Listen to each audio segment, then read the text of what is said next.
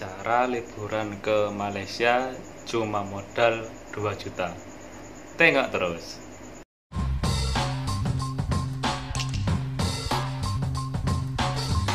Assalamualaikum warahmatullahi wabarakatuh dan salam sejahtera untuk kita semua.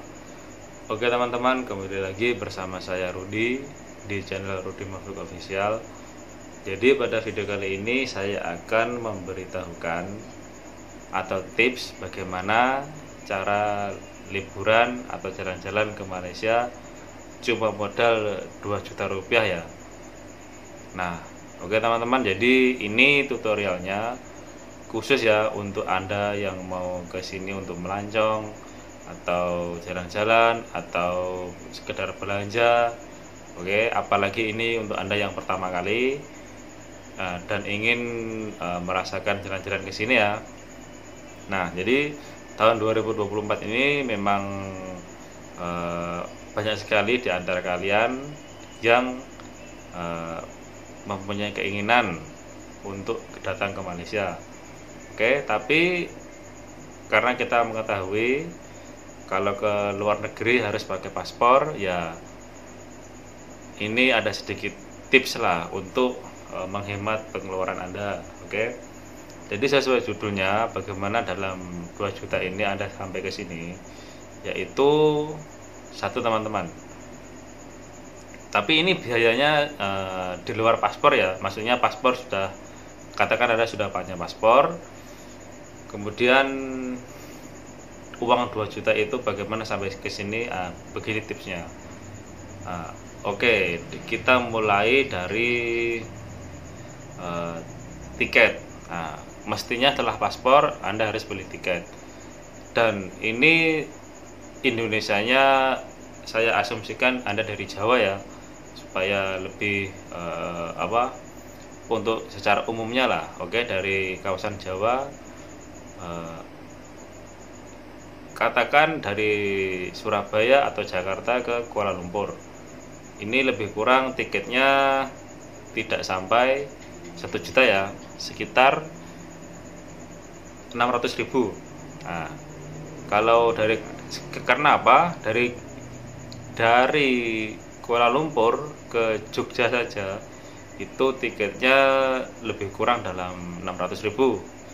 Nah, 600 ribu 650 ribu nah, seperti ini. Kalau pergi balik baru berapa?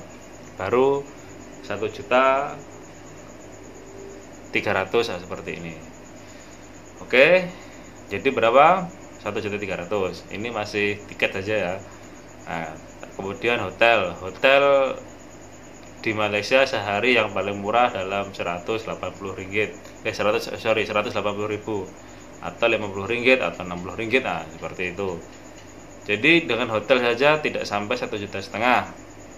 Nah tapi masalahnya kadang-kadang nah, kalau kita yang pertama kali masuk sini biasanya akan ditanyai semasa di imigrasi ya imigrasi Malaysia khususnya. Nah, biasanya anda akan dimintai untuk menunjukkan uang perjalanan atau uang tunjuk lah. Nah tapi itu pun jarang sekali lah. Nah, ditanya seperti itu. Karena apa? Pihak imigrasi ini sangat tahu anda ke sini niatnya untuk apa Nah, dari cara nada bicara Anda, dari Anda berpakaian, mereka sudah tahu. Nah, kalau Anda memang betul-betul ke sini, nah, dia sudah tahu lah. Nah, tinggal pandai-pandai Anda menjawab atau pergerakan Anda sama di interview sekejap tuh di apa eh, lapangan terbang. Nah, eh, selanjutnya ini untuk perseorangan. Kalau perseorangan, nah ini untuk perseorangan ini ada sedikit susah teman-teman karena kalau perseorangan mungkin ada uh, beberapa pertanyaan yang akan dipertanyakan di saat di imigrasi Malaysia ya. Nah kecuali kalau anda ini datang ke Malaysia dalam dua orang atau empat orang dan anda masih berstatus pelajar entah kuliah entah SMK atau SMP yang mau ke sini itu dengan mudah memang lolos. Nah apalagi anda menggunakan bahasa Indonesia yang bagus nah, anda akan senang apa mudah lolos lah di sini. Dan lebih kurang seperti itu. Kalau katakan apa eh, empat orang katakan dua orang satu kamar hotel dua orang satu kamar hotel kan. Nah ini akan lebih menghemat lagi. Bahkan biayanya kalau tiket sedang promo uh, prosesnya sedang promo semua mungkin tidak sampai 2 juta teman-teman ini menurut saya ya dan saya asumsikan anda berada di uh, Jawa. Kalau dari Medan mungkin lebih uh, murah lagi apalagi anda dari Batam. Nah, itu, itu sangat lebih murah lagi. Nah ini jadi 2 juta ini tergantung dari kawasan anda uh, kemudian ada di sini berapa lama. Kalau di sini cuma sehari saja itu memang 2 juta memang cukup teman-teman. Lagi anda beberapa orang ada dua orang atau empat orang kemudian anda di sini masih berstatus, berstatus pelajar dan betul-betul ingin melancong ya memang cepat uh, bisa mudah dan bisa murah juga kalau satu kamar boleh dua orang nah jadi mungkin Nah, cukup sekian teman-teman informasi yang dapat saya sampaikan. Bagi Anda yang mau ke sini tapi belum tahu caranya bagaimana bagaimana sampai di airport mau naik ke apa, pergi ke mana hotel yang murah, nah, Anda bisa tulis di kolom komentar ya. Insya Allah nanti akan saya jawab. Oke, walaupun ada di komentar akan saya jawab karena saya di sini sudah cukup pengalaman. Nah, oke.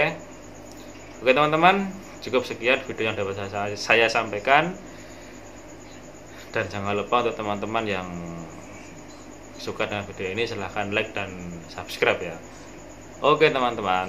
Terima kasih. Wassalamualaikum warahmatullahi wabarakatuh